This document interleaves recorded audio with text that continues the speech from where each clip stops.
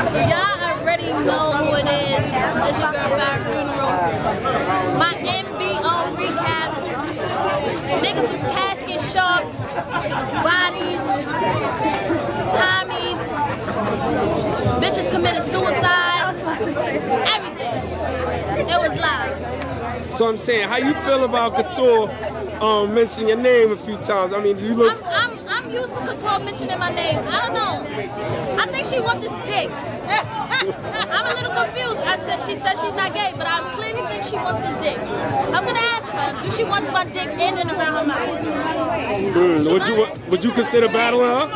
No, I'm not. I think Couture's really, I think Couture's down with the Illuminati, the CIA, and the FBI. Oh yeah. Yeah, she has way too much going on. Like, she has too much time to find out people's information. It's crazy. So how you feel about your battle tonight?